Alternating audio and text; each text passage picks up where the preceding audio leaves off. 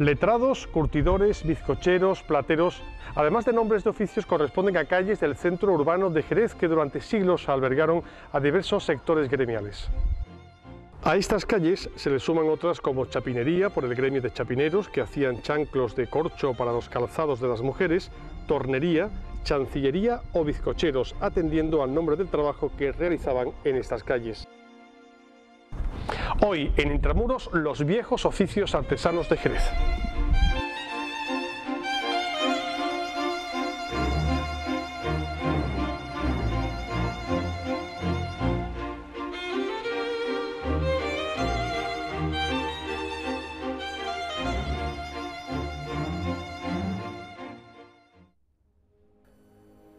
Pasear por el centro de Jerez es adentrarse en una ciudad que guarda la esencia y configuración urbana propia de la cultura andalusí y que durante siglos albergó toda clase de oficios artesanales que en la mayoría de los casos se han perdido con el paso de los años y con la revolución industrial.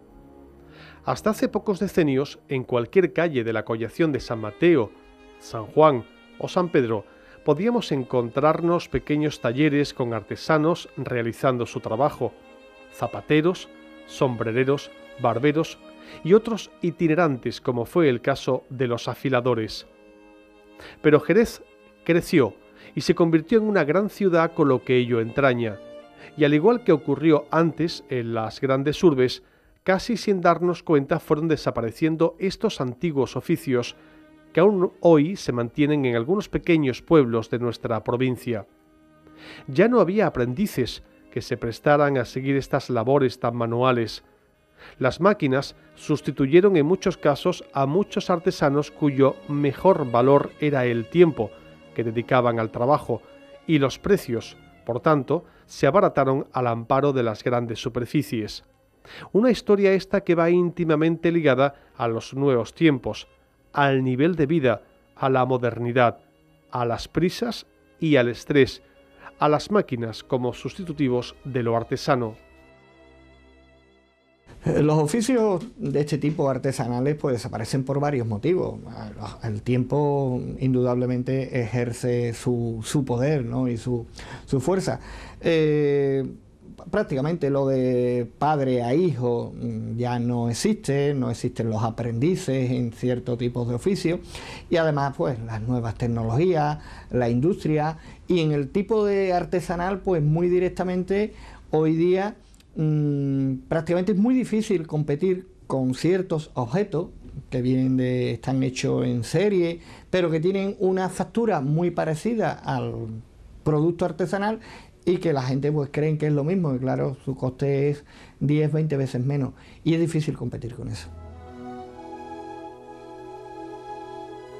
El archivo de Onda Jerez Televisión es un tesoro vivo de la historia más reciente de esta ciudad. En estas estanterías se guardan las imágenes de buena parte de lo ocurrido en la ciudad en los últimos dos decenios.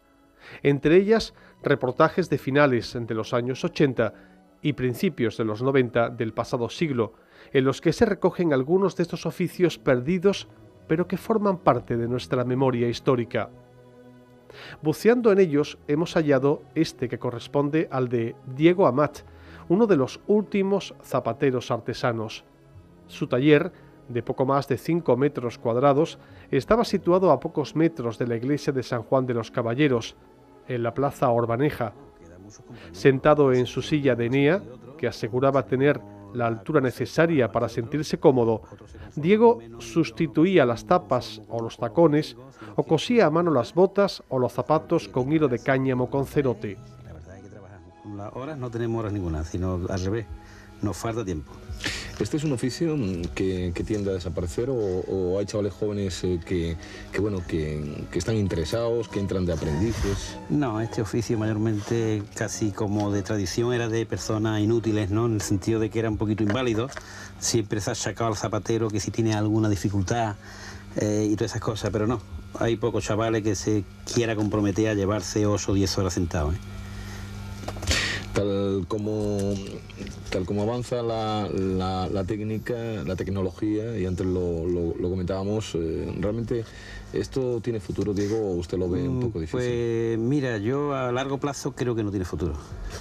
Esto no tiene futuro puesto de que ya va avanzando las cosas, hay muchos talleres, hay mucha zapatería ya muy barata, e incluso estos eh, tipo corte inglés y cosas así que por un lo que más o menos te vale un arreglo, te puedes comprar un zapato.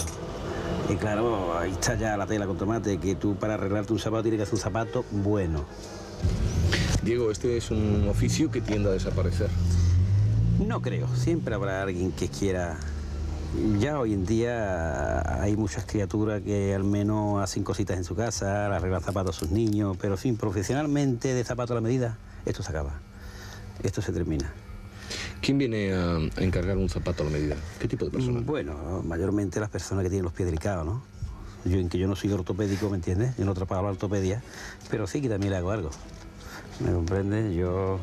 Pero hoy el 90% de los que se hacen zapatos a la medida tiene que ser de pies delicados que no se lo encuentra en la calle, que le esté bien, y entonces se lo tiene que hacer a la medida, ¿me entiendes?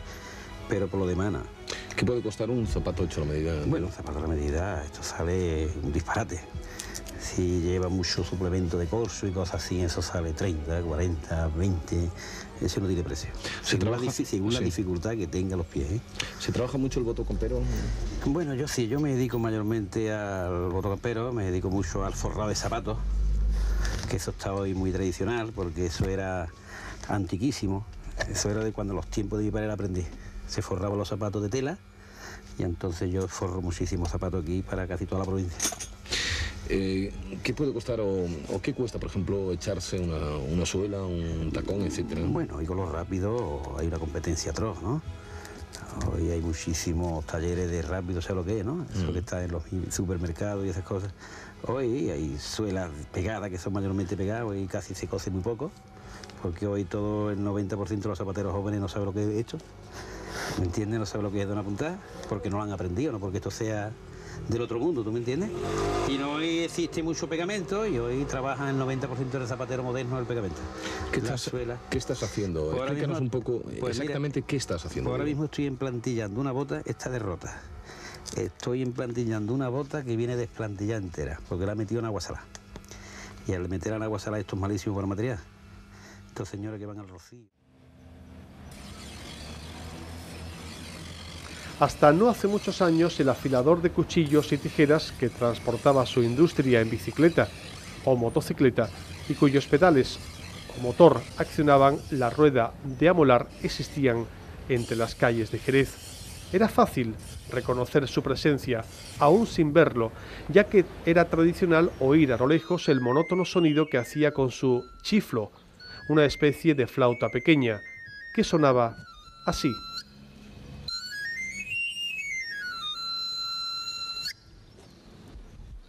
Hola, ¿qué Buenos días. ¿Cómo se llama usted, por favor? Juan Mora Garrido. ¿De dónde sí qué edad tiene? O sea, de Sevilla, 44 años. De acuerdo. ¿Desde cuándo se dedica a ser afilador? 14 años. ¿Este es un oficio que se está perdiendo? Mm, bueno, algunas veces sí, otras veces no, porque yo vivo de esto. ¿Lo aprendió usted de alguien o solo? De mi padre que para descanse. ¿Tiene usted muchos clientes, mucho trabajo? Sí, algunas veces sí me gano un fuerte de dinero. ¿En qué zona suele trabajar más? Eh, exactamente en la zona de aquí de Sevilla y en la zona de Cádiz. ¿Hay alguna época del año para trabajar más como afilador? Sí, mm, exactamente. Algunas veces me voy exactamente al campo a trabajar, pero que el jornada que gano trabajando no es lo mismo que el jornada que gano exactamente que yo gano aquí afilando. ¿Cuáles son las cualidades de un buen afilador? las cualidades de una buena afilado que sepa bien tocar la flauta y que sepa bien afilar una tijera y afilar un cuchillo en sus remantales.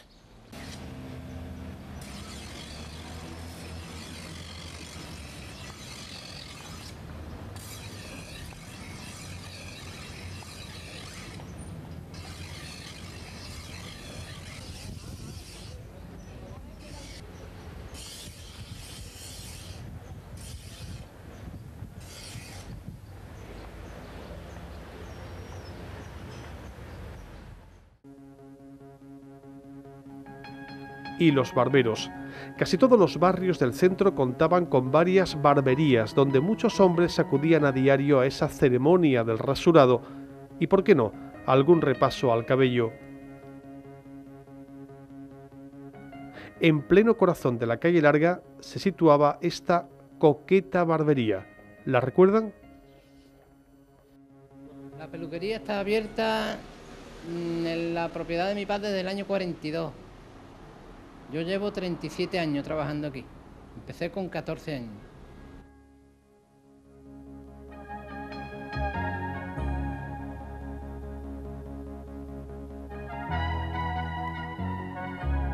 El Jerez de hace 30 años era más era más tranquilo, ¿no? Ahora parece que hay más jaleo, días.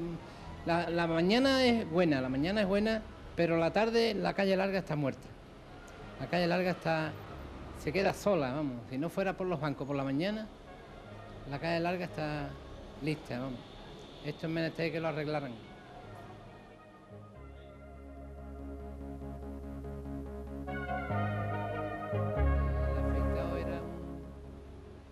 un servicio que se hacía mucho en la peluquería y hoy todo el mundo sale, hasta incluso el obrero, sale afeitado al trabajo de su casa.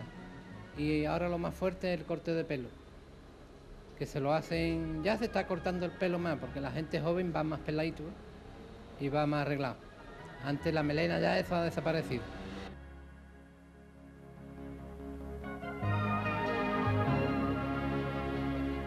artistas de cine, poetas, Pemán, Pemán, Antonio Ordóñez, Julio Aparicio, lo ha afectado, mm, Bienvenida, muy buenos toreros y artistas de cine también.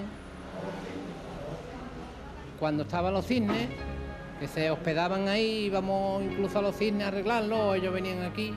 En fin, había antes más, más trabajo. La, época de las carreras de liebre había mucho trabajo, venían muchos señores aficionados a las carreras de liebre y, y muchas personas famosas.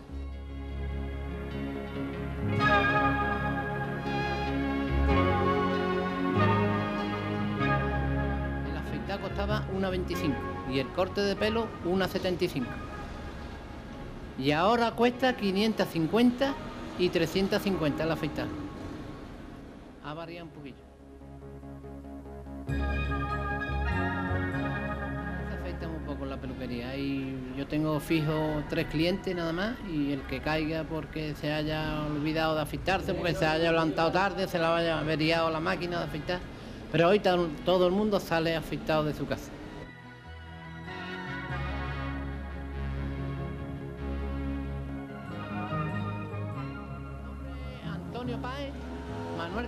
Y Antonio Collado. Esos son los tres afectados que tengo.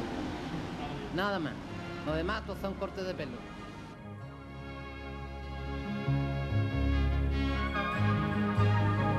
Había muchísimas peluquerías, se han cerrado muchas.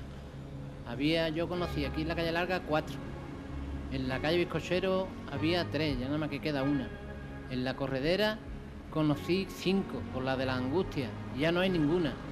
En la calle Medina había dos, tampoco hay ninguna. En la Porvera había una, tampoco la hay. En la Plaza Arenal había dos y nada más que queda una. La que está metida en la calle de San Agustín. No, en la calle de San Agustín hay dos. En la Plaza Platera había otra, también se cerró. Así que, que esto va a menos o sea, la peluquería antigua, ¿no? Hay modernas algunas que ahora se hacen peluquerías mixtas, de caballero y señora. Eso está de moda. Que se han abierto algunas Jerez y están muy bien. Pero así antigua, al estilo antiguo pocas. Y pocas quedan.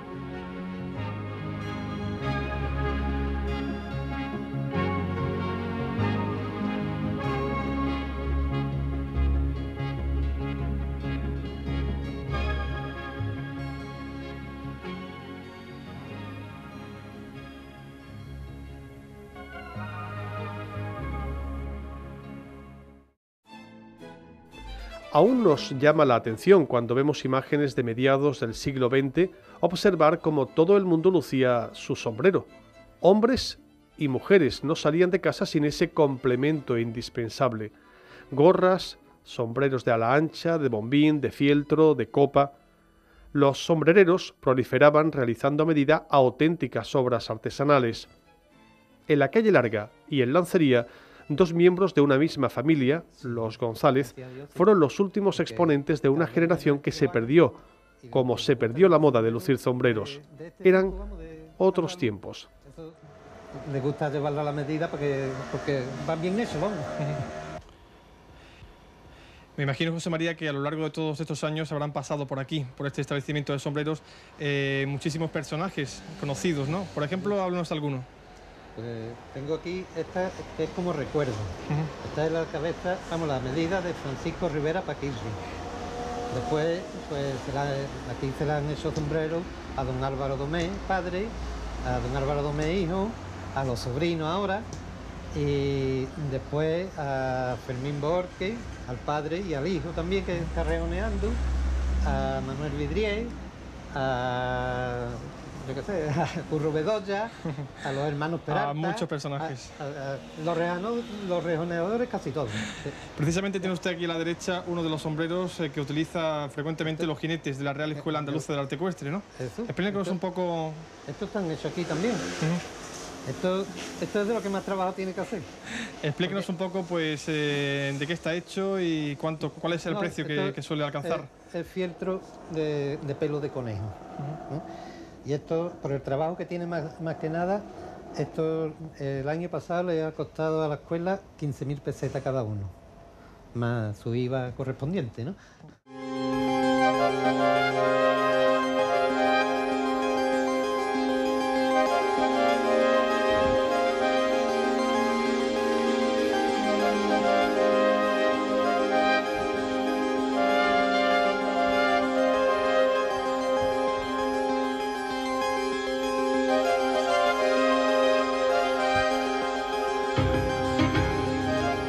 Esto era únicamente sombrería, o sea, prendas de cabeza.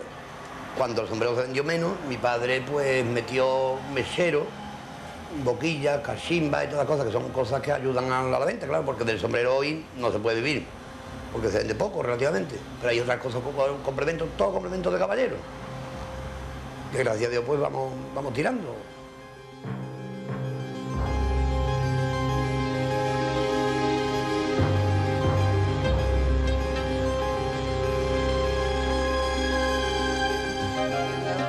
Aquí mi, abuelo, lo abrió en el año 17. Y me contaba mi padre que esto servía, era un, bodegón que servía únicamente para vender papelillos y caretas en carnaval. Después todo el tiempo estaba cerrado. Creo que el alquiler que pagó primero mi abuelo fue 175 pesetas. Y era una barbaridad. Ya después, mm, mi, mi, abuelo transformó la tienda el año 30, 30 y algo, 31, 32 la forma que está actualmente, sin, ya sin tocarle. Fue mi abuelo que era de Sanlúcar, mi abuelo y mi abuela de Sanlúcar, que vinieron aquí el año 17 y desde entonces estamos aquí. Mi abuelo, mi padre y ahora yo.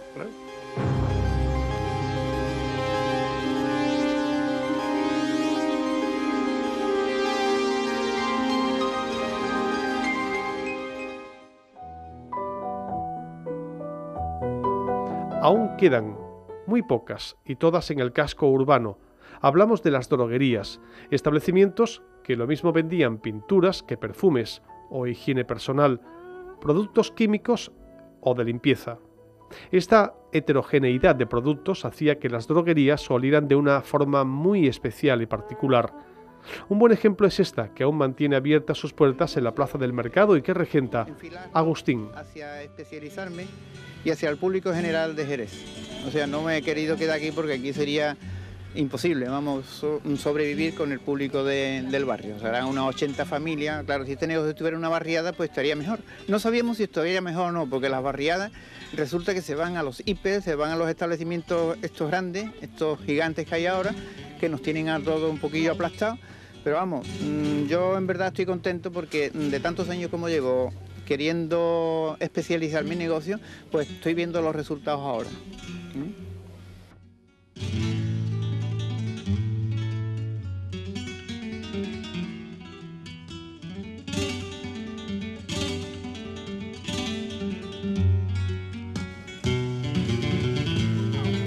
Decíamos antes, Agustín, que es una droguería de tipo de corte tradicional.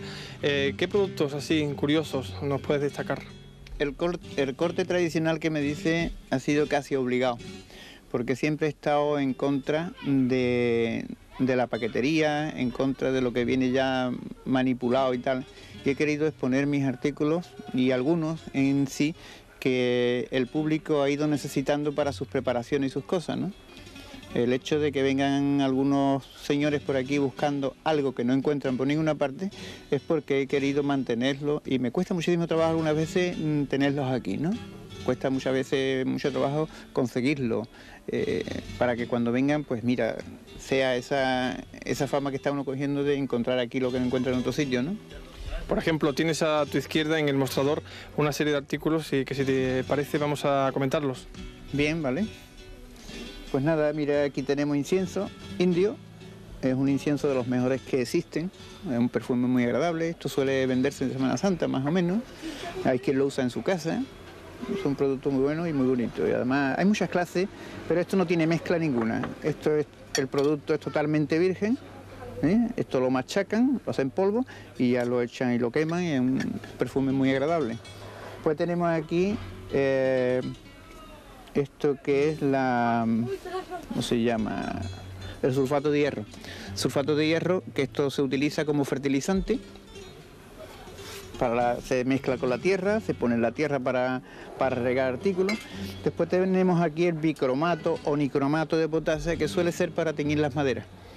Esto, bueno, teñir en concreto es quemar la madera, quitarle la viveza que tenga de nueva o algo así para darle un aspecto de, vejez. Tenemos aquí la goma laca, una goma laca hielo muy fina, muy fina, muy buena. Hay muchas goma laca, pero esta es una especial eh, para barnizado de los muebles de caoba y de más, más que nada de maderas nobles, eh, que suelen barnizarlos con, goma laca todavía. La antigua bola de alcanfor naftalina, eh, esto lo utilizan para la polilla, que ya casi nadie lo trae, pero vamos, se suele traer todavía. El almidón de canutillo, hay muchos aprestos actualmente en sprays y hay, o sea, de, que son de, de nylon, tipo de nylon, pero el almidón de canutillo es un almidón hecho de la fécula del arroz y todavía se utiliza bastante porque además es muy bueno esto, no, no, estropea la prenda ni la, ni la carga de ninguna mm, partícula de poliamida, sino es natural y se pueden jugar y perder otra vez y poderse planchar otra vez de nuevo. Se llama orfebrería al trabajo artístico realizado sobre utensilios o adornos de metales preciosos. Los metales que constituyen los objetos de orfebrería propiamente dichos son eminentemente la plata y el oro, o una mezcla de ambos. Maestros artesanos que en esta zona de Andalucía han trabajado preferentemente para las cofradías y hermandades. se puso a trabajar fui yo. También su hijo está siguiendo toda la tradición, ¿no? Vamos a ver si puede, puedo sacar algo de aquí. Porque vamos, esto es, esto es una cosa que requiere mucha paciencia y que guste. Si no le gusta, no, no va obligado, no se puede, no se puede hacer orfebre. Porque eso hay que, reconocerlo, eso hay que tiene un, proceso de aprendizaje muy largo, porque esto no se, no se no se aprende en un mes, ni en dos meses, ni en un año. Esto tiene mucha, mucha trayectoria. Entonces es un proceso muy largo de aprender, porque verdaderamente esto no es un, un oficio, esto es un arte. Entonces estas cosas pues tiene que gustarle a la persona, tiene que tener, tiene que tener Mm, también noción de lo que es el dibujo, porque si no tienes noción de lo que es el dibujo, no puedes decorar una hoja, ni mover una hoja, ni saber el movimiento que lleva. Entonces, claro, estas cosas tienes que, tienes que aprenderlas. Y aprenderlas dibujando. Que te, dé una mijita bien el dibujo y entonces ya por ahí puedes empezar. ¿Tiene usted constancia de, de cuántos orfebres quedan en Jerez? En Jerez, solo. ¿Usted es el único ya? El único. ¿Cuántos había? En Jerez, pues cuando mi padre trabajaba, había ya había bastante. Cuando mi padre trabajaba había bastante porque también montó talleres de orfebrería aquí Rodríguez, el de los radiadores, de la calle Córdoba. Ese montó,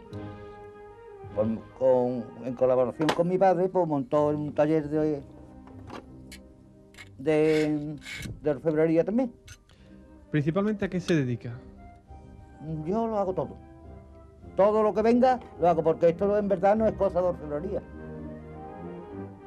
¿Qué es lo que está haciendo, por ejemplo, ahora en este momento?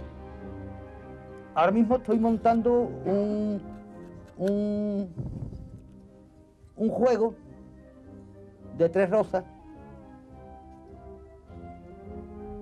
para un regalo de aniversario, de boda.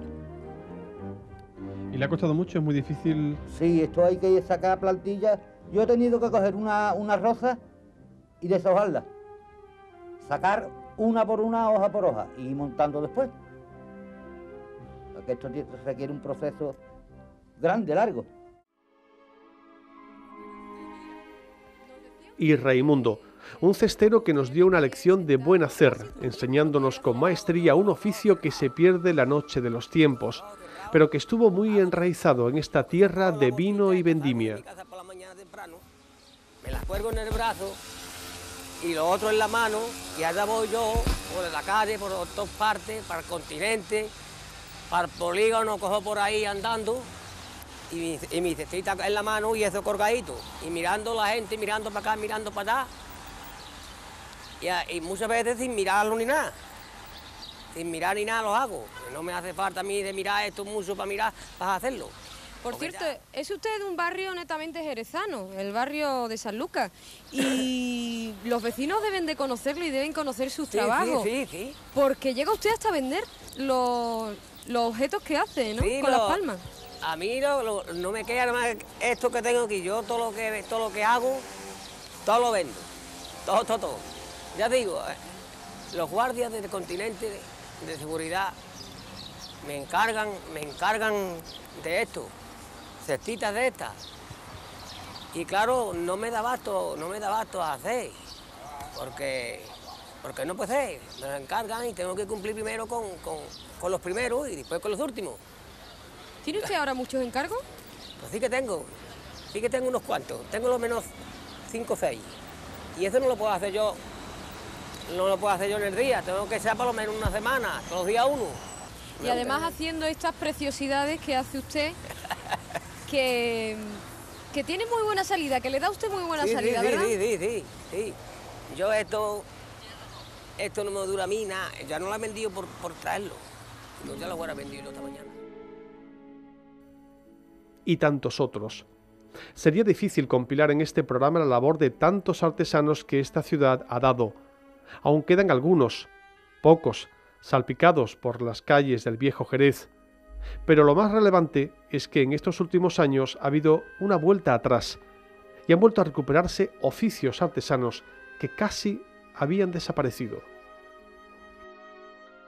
Eh, bueno, todas las ciudades había muchos gremios, de hecho existen, están las calles, ¿no? Los nombres de las calles gremiales, la Plaza Platero, calle Bizcochero, eh, allí mismo cerca de lo que hoy es el Zoco de Artesanía, eh, calle Curtidores, en fin, había una cierta zona donde estaban los de los distintos gremios, donde se afincaban, digamos, los, los artesanos o pequeñas industrias de un determinado tipo, ¿no?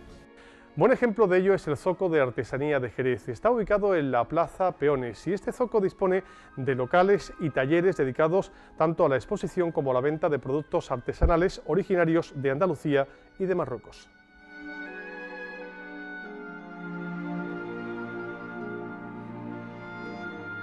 La idea original del Zoco, bueno, tiene dos vertientes. Por un lado, el recuperar ciertos oficios antiguos, el recuperar ciertos oficios artesanales que están prácticamente perdidos o que quedan muy pocas personas que lo están haciendo hoy día. Y por otro lado, recuperar también un espacio. Mm, El casco histórico hay que darle un contenido, hay que atraerlo y desde el ayuntamiento, en este caso desde la delegación de impulso, pues se ha intentado, se está intentando ¿no? recuperar esos espacios y por eso se ha concentrado allí lo que es el zoco artesanía. Hoy día todavía eh, esa zona de Jerez una zona un tanto maldita, ¿no? Eh, está a tres minutos de lo que es Plaza Platero, pero para que está a tres horas. Eh, la gente de Jerez mm, le cuesta trabajo llegar allí. Pero bueno, le cuesta. Yo creo que al fin es, ponerle algo atractivo, porque en Semana Santa es de los sitios donde más público hay. ¿Por qué? Porque hay algo, ¿no? Pues entonces algo así intentamos que sea con el soco. Eso no se consigue de un día para otro. Hay que conseguirlo con el tiempo. Y de hecho, los extranjeros que sí vienen buscando, que es, digamos, un cliente potencial muy interesado en ese tipo de productos, pues sí lo conocen. Y prácticamente el 70 o el 80% de los clientes que se acercan al Zoco ¿no?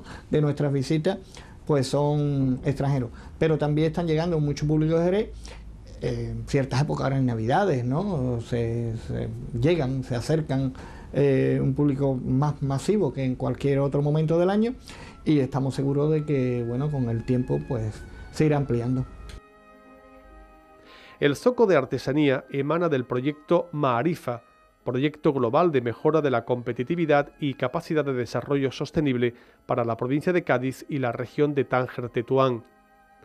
El proyecto fue elaborado e impulsado por la Diputación de Cádiz, contando con la colaboración de distintas entidades, entre ellas el Ayuntamiento de Jerez. Se constituye como un espacio físico generado por la iniciativa pública, con el propósito de facilitar la puesta en marcha y establecimiento de iniciativas artesanales de la zona, el arranque y consolidación de iniciativas ya existentes, el intercambio comercial, así como el conocimiento de la artesanía que se realiza en el norte de Marruecos para su promoción y comercialización. Es muy difícil que este tipo de trabajo, que son productos, como hemos dicho, que suelen ser mm, caros y difíciles de elaborar, pues puedan competir con este otro tipo de productos que hoy día se venden en bazares y demás, que bueno, que están a un precio infinitamente inferior. Aparentemente son iguales, pero no tiene nada que ver, ¿no? Eso están hechos en serie y demás. Y estos son obras únicas, hechas a mano. Esto es otra, eso, pero bueno, aparentemente son. Entonces, este tipo de, empresas, por llamarle de alguna forma, ¿no? Eh, de artesanos, o tienen ayuda o es muy difícil que subsista. Por eso es la iniciativa del ayuntamiento. De hecho, mm, bueno, aquí a estos artesanos pues se les está ofreciendo una ayuda de parte institucional por parte del ayuntamiento, tanto a niveles de precios de alquiler, de espacios y demás. Para lograr este objetivo se integran de forma conjunta una serie de talleres locales destinados a la exposición y restauración, buscando establecer con todo ello la conexión que brinda un pasado histórico común. En este sentido, en el Zoco, subyace la idea de recuperar los rasgos esenciales de lo que se puede denominar como artesanía andalusí. Está ubicado en el centro histórico de Jerez, en el recinto de la antigua Medina Almohade de la ciudad, entre la Plaza Belén y Plaza Peones, y consta de 22 locales.